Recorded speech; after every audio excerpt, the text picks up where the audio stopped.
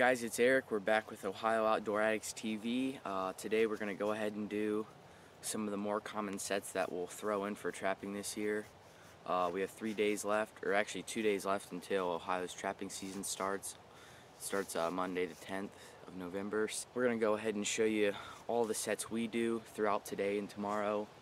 That way throughout the season you'll know what we're referring to when we talk about the sets that we catch uh, animals in and stuff. Let's go ahead and get started uh, with the first one, the Duke DP, how I catch a lot of coons with these and the best way to set them. Okay, these are the two main coon traps I use, the DPs. This is the Z-Trap, and this is the Dukes. Um, as far as the springs go, I think the Z-Traps are a little bit more firm. However, this is like a year or two old, so it's kind of hard to tell. They do break in a little bit more as you go with them and you use them more. Uh, so I'm going to go ahead and show you how I put them in.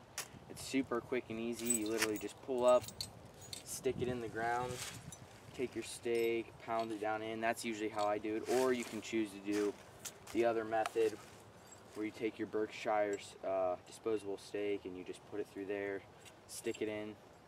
But for this video and what I usually do, I just use the standard 18 inch rebar stake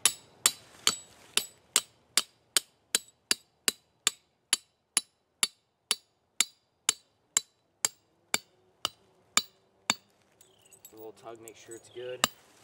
That's in the ground good. The good thing about these Z-traps is they have a push-pull lever in there.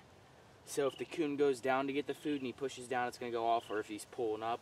The Dukes just so have the simple set that. Then I just take, I like to use this truckload coon bait. I got that from up at Sterling. You pull that out, take a scoop of that, put a couple in there till it's kind of up the top there that's pretty much that. Or I use this Caven's Minnesota brand Predator bait. This is good for fox, coyote, and coon.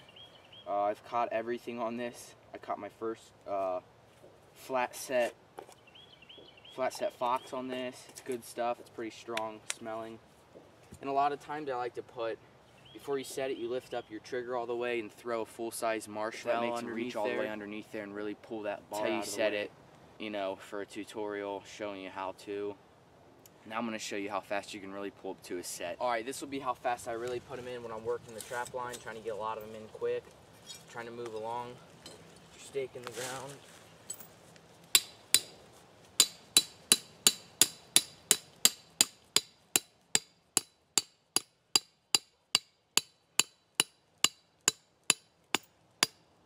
coon, I don't worry too much about gloves. Uh, they really don't care. They come up in your house, your garbage can. They're not too worried about human scent. Take that, set that like that.